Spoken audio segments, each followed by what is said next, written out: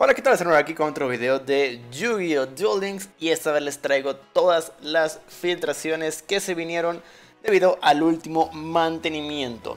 Y bueno, como son varias, vamos a empezar. Hay muchas cosas muy importantes.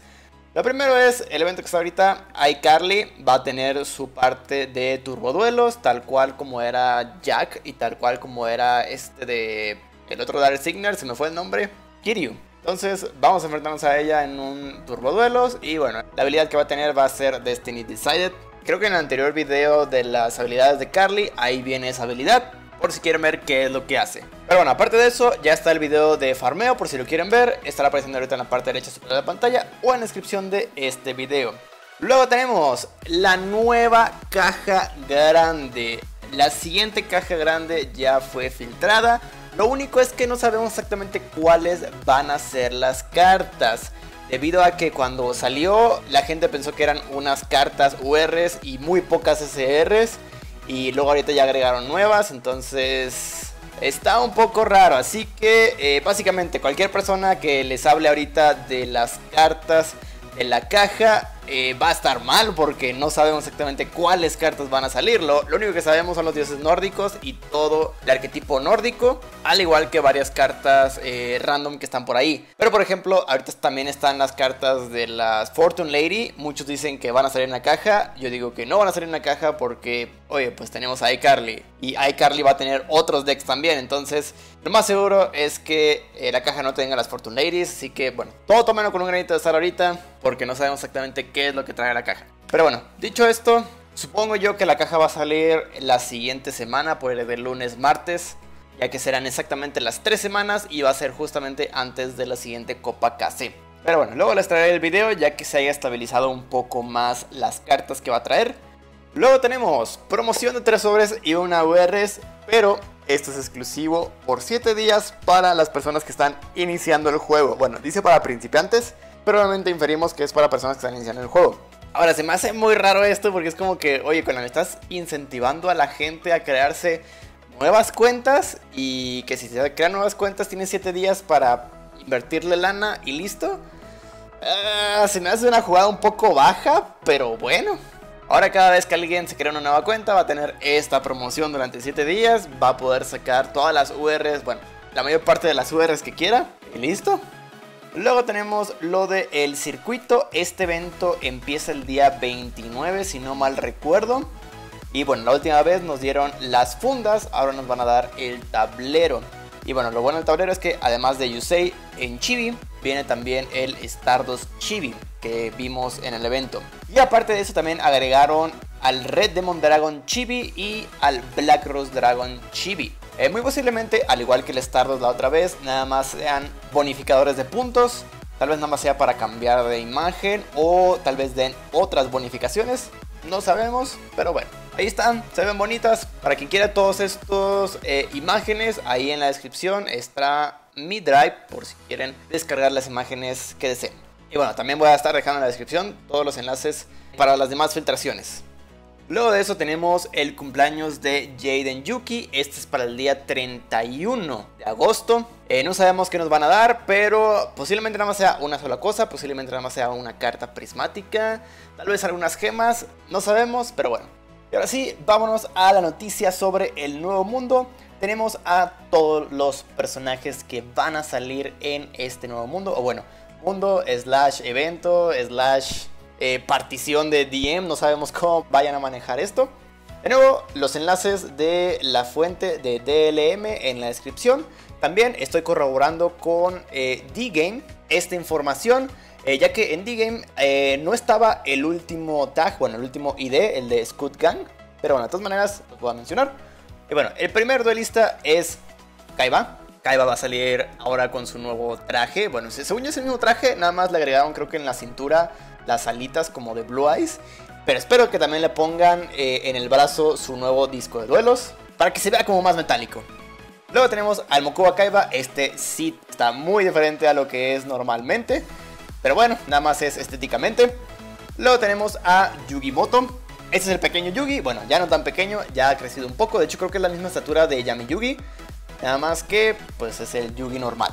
Y luego tenemos a Joy, que se tiene según yo es la misma ropa, o bueno, ropa muy parecida a la primera temporada de DM. Espero que sí le pongan esta ropa y no la de ropa de colegial, porque la ropa de colegial pues ya lo tenemos dentro del juego, así que pues bueno. Y también lo espero porque Tea, espero que tenga esta ropa y no la de colegial. De hecho, supongo que todo el mundo está esperando esa Tea. Todo el mundo en mi Discord también dijo, uff, es hora de usar a Teas. Así que espero ver en los comentarios el hashtag TeaMain. Para todos los que vayan a querer usar a esta nueva Tea. La Tea Ricolina.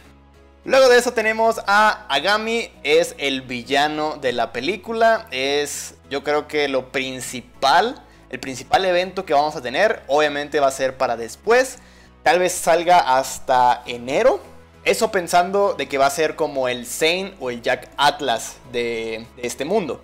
Todo el mundo lo va a querer y todo el mundo va a decir, ah, ¿cuándo va a salir? Entonces, muy probablemente sea eso, pero bueno. Zane y Jack Atlas eran como el rival, este es el villano, generalmente siempre se lo conservan hasta mucho después.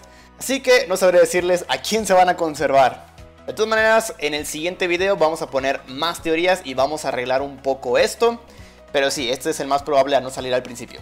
Y luego tenemos a la personaje Sera. Esta creo que es la hermana de eh, Aigami. No estoy muy seguro. Ahí me corrigen en los comentarios. Pero bueno, según yo tenía una relación con Aigami. Y lo más seguro es que este no sea un personaje con el que vayamos a pelear. Sino simplemente sea un personaje que va a interactuar con nosotros para el evento de Aigami precisamente. Es como el Joy poseído. Que, nada, que nunca, nunca lo vamos a tener. Sino nada más será para evento. Pero bueno. Luego tenemos un duelista incógnita, un duelista desconocido.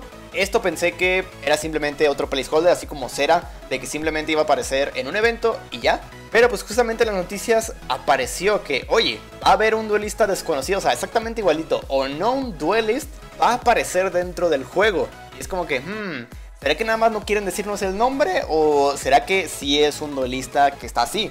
Pero bueno, con esto me, da la impresión de que Konami pues ya sabe que podemos filtrar las cosas y ya es como que, ¿sabes qué? Por eso estoy conservando toda la información hasta último momento.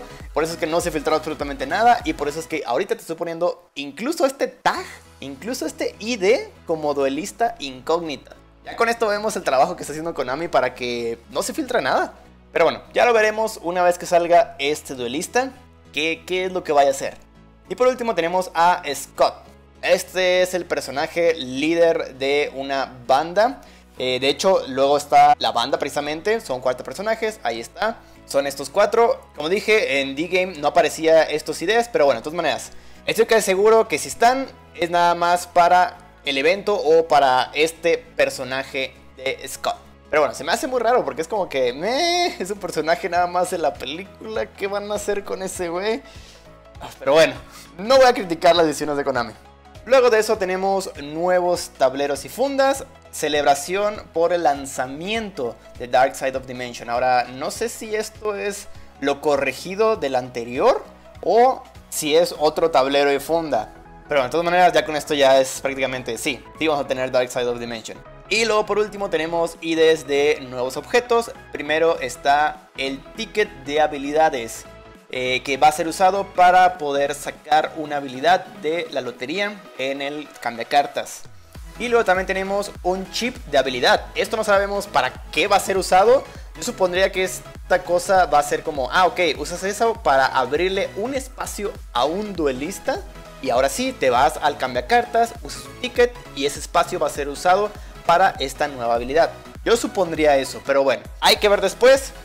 Y luego tenemos un poco más de información sobre esto de ticket de habilidades. Dice, primero, esto es recomendado para los principiantes y las habilidades que puedes obtener son cualquiera de los aumentos de vida, ya sea alfa, beta o gamma, y también está reiniciar y equilibrio. Pero bueno, ahora dirán, ah, pero entonces para los demás no nos sirve y nada más vamos a estarnos llenando de tickets. Pues más o menos sí, pero cada vez que salga un nuevo mundo, la verdad creo que sí va a ser útil ¿Por qué? Porque me acuerdo cuando salió el mundo de GX, yo no tenía la habilidad de reiniciar y la necesitaba para farmear. Y desgraciadamente tenía que farmear con todos los duelistas, bueno, con dos de los duelistas para poder sacar esa habilidad. Y pues bueno, con esta cosa ya podría sacar de un jalón, si necesito alguna de estas habilidades, justamente en el momento que salga este nuevo mundo. Así que pues la verdad creo que está bien, creo que sí les va a servir a todo el mundo.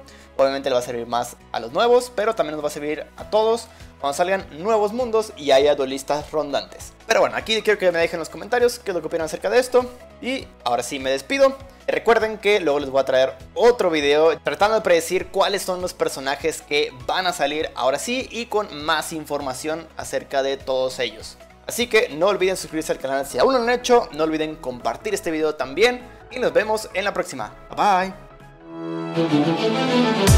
bye.